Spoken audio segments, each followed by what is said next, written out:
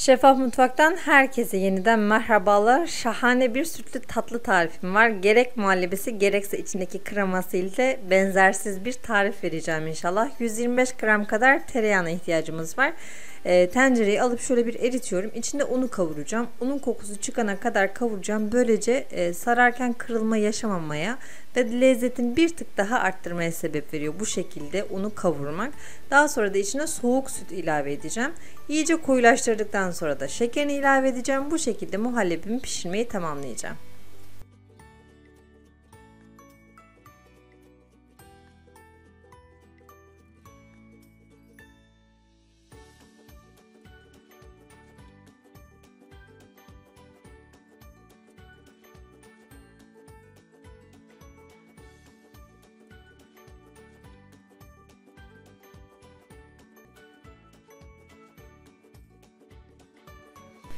Muhallebim böyle balon balon şişti kıvamını şöyle size göstermek istiyorum. Ga- gayet güzel bir kıvam var. Soğudukça bu kıvamı daha da koyulaşacaktır.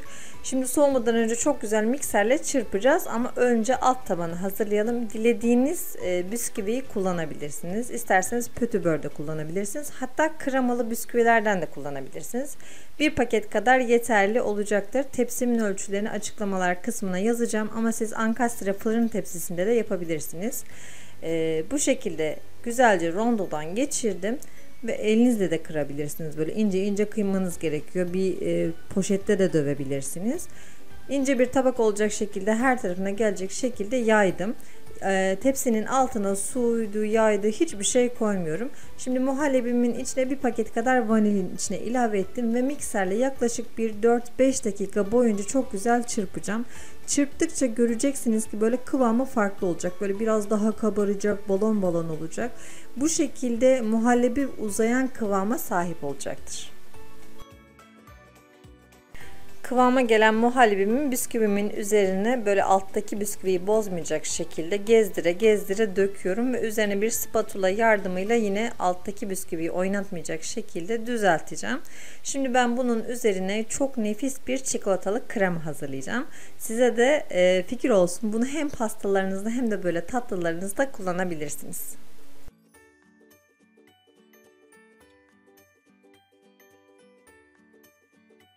Muhallebi soğumak üzere bir balkon olur, buzdolabının alt kısmı olur. Gönderiyorum ve böyle bir e, sütlüğe içine kremayı alıyorum. Bir paket kadar krema yeterli olacaktır. Ocağa alacağım. Kaynama noktasına gelene kadar ısıtacağım. Kaynatmayacağım. Kaynatırsanız şayet yağ eriyecektir, yağ ayrılacaktır. O zaman işimize yaramaz. Sadece ısıtmanız lazım ki içinde çikolatalar rahatlıkla erisin. 100 gram kadar bitter çikolata kullanıyorum. Sizler sütlü çikolata da kullanabilirsiniz. Gördüğünüz gibi bakın kaynamamış. Sadece e, ısınmış, iyi ısınmış. Çikolataları içine atıyorum ve bir dakika bekledikten sonra şöyle güzelce karıştırıyorum ve çikolata tamamen içinde eriyor. Bu ta ki iyice böyle soğuyana kadar hatta şöyle bir, bir buzluğa da atabilirsiniz işiniz kolaylaşsın diye.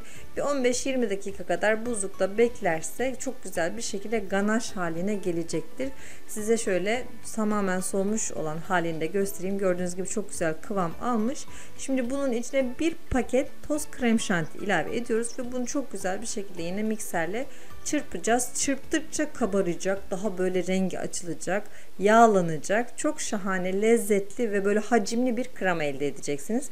Dediğim gibi bunu dilediğiniz pastayı süslemekte arasına kullanabilirsiniz. Mükemmel bir pasta kremasıdır.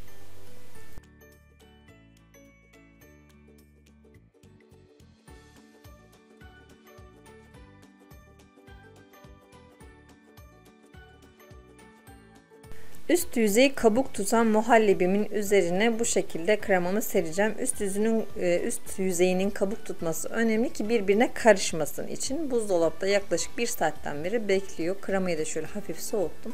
Şimdi üzerine e, bir spatula yardımıyla her tarafına eşit gelecek şekilde süreceğim ve tekrar buzdolabına kaldıracağım. Geceden yaparsanız çok daha güzel olur. Sararken size hiç zorluk çıkartmaz.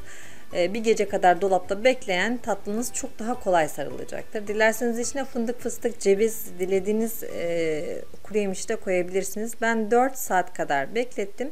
Şimdi sizler için rulo yapacağım. Şöyle göstermek istiyorum. 4 saat bile beklettiğim halde gayet kolay bir şekilde rulo yaptım. Daha önce bu tarz tarifleri denemiş olanlar için söylüyorum. Şayet e, bu şekilde rulo yapmakta zorlanıyorsanız böyle düz bir spatuladan yardım alın bir.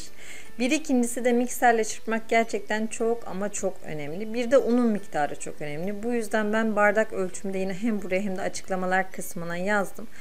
Katlayarak daha fazla da yapabilirsiniz ama çok kalın bir şekilde dökmeyin. Kalın dökmeniz e, yine sararken kırılmasına sebebiyet verecektir.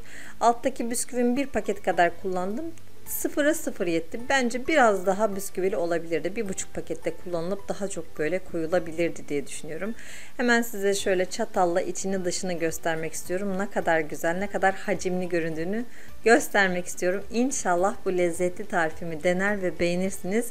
Krema için o muhteşem yorumlarınızı da bekliyorum. Deneyenler mutlaka ama mutlaka yazsınlar istiyorum. Bu arada 200 bin aboneyi sevinçle, coşkuyla geçtik. Çok ama çok teşekkür ediyorum. Bütün abonelerime çok teşekkür ediyorum. Bütün izleyenlerime çok ama çok teşekkür ediyorum. Bu ve bunun gibi birçok tarif için kanalımı ziyaret edebilirsiniz. Videolarımızı beğenmeyi, paylaşmayı, yorum yapmayı ihmal etmeyin.